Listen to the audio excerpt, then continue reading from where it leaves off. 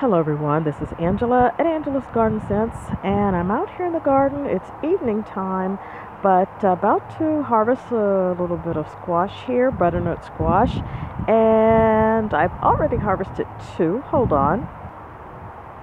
Okay, as you can see, I have already harvested two uh, really nice looking ones. All the stems, in fact, when it's time to harvest, you really know the stems have gotten totally brown, had totally actually died and withered away.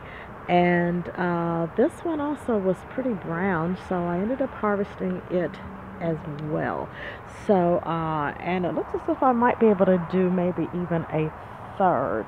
And uh, that life is hitting, it almost looks green, but it's Trust me, it's not green. okay.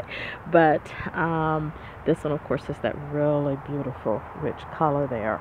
But the vine itself had definitely died. I'm picking it up so you can see it here. It was truly dead. It was sending no no sap or whatever you call it, nutritive juices into the squash.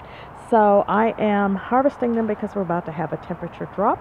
Also, you can see I've harvested some peppers. I just decided to snip off as many pepper plants as I could because temperatures are going to go into the 40s tonight. So anyway, but um, I'm probably going to pull up just about everything. Not quite. It's not going to be a freeze, but I do know that peppers definitely may not be able to take the drop. And the butternut squash, it's simply time. Anyway, just wanted to share that with you.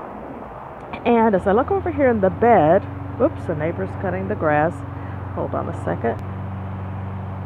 Okay, the plant hasn't died. Remember, this was a really young one here, still coming. It's still, this is still relatively, oops, relatively small.